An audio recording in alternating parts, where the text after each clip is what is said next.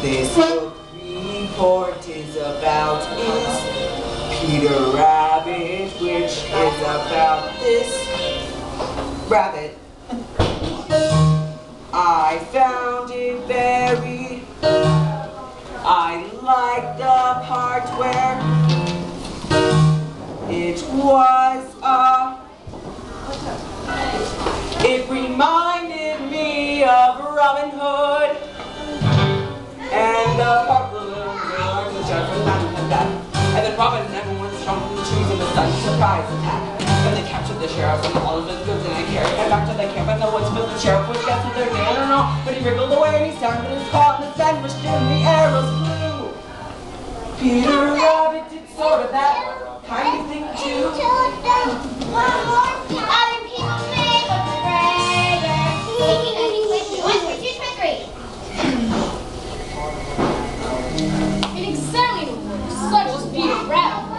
The superficial characteristics of its deceptively simple plot may not the reader to its more substantial fabric of its deeper motivation.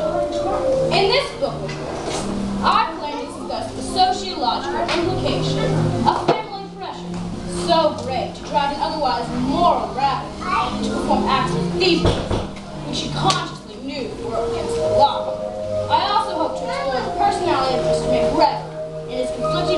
farmer and humanitarian.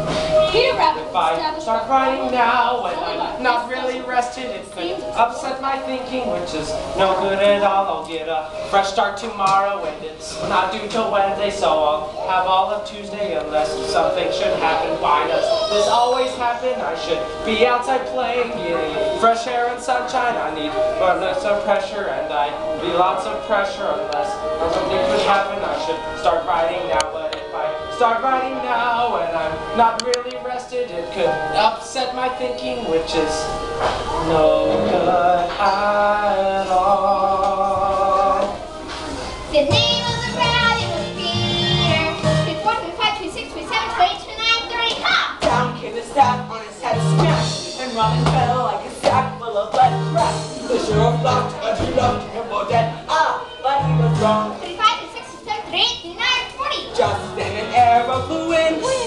Was a sign for the fight to begin. And then it looked like the sheriff was to win. Ah, but not for long. Away they ran. Just like rabbits, we run a lot, as you can tell from the story of Peter Rabbit, which this report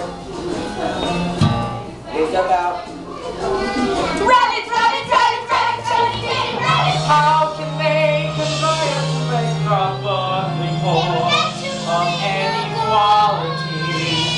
Just two days?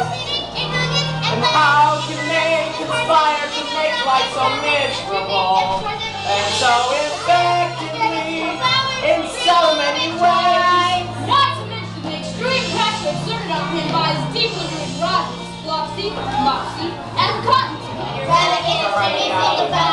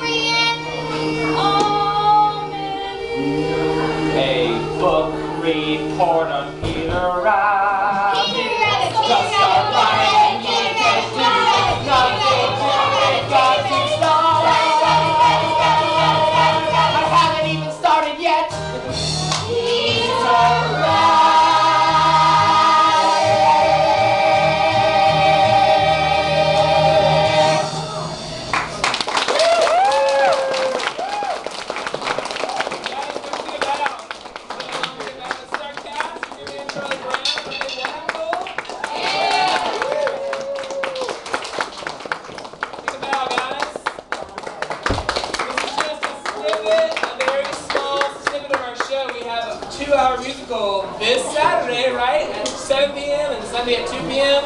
The winners of the um, the Charlie Brown Peanuts Dance Contest. See Greg or Ashley at the behind the counter for your free cream coupons. Those three kids. And also see me for tickets. Depending on what night you want to come see it, let me know. You want to buy tickets? See me before you leave. You can buy tickets to the show. You're gonna be at Charlie Brown. Thanks for coming out tonight.